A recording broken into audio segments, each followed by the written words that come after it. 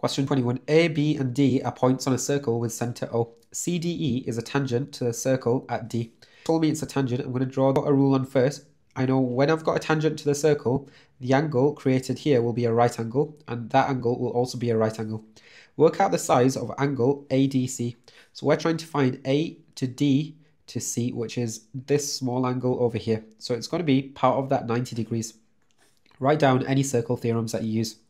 So the first circle theorem that we've used is the radius and a tangent meet at 90 degrees. So I can write C, D, O, C to D to O equals 90 degrees as radius and tangent meet at 90 degrees. That's that first one done. How can I see I've got an angle at the center and I've got an angle at the circumference. So the angle at the center is twice the angle at the circumference.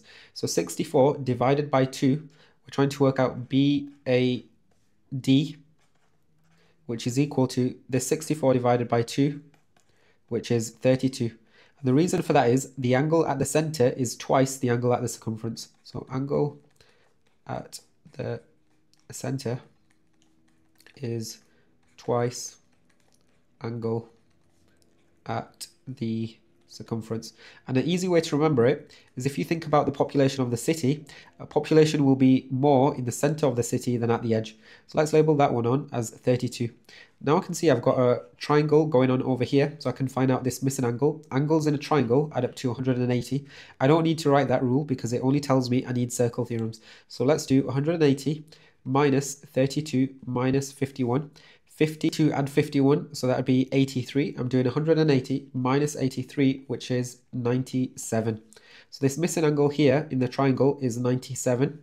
And I've got two lines that cross each other. So that tells me that vertically opposite angles will be equal. This angle will also be 97. And then this angle that we want, the blue angle, we want to take away the missing angle from the triangle from 90 degrees. So let's find out that missing angle. That'd be 180 minus 97 minus 64.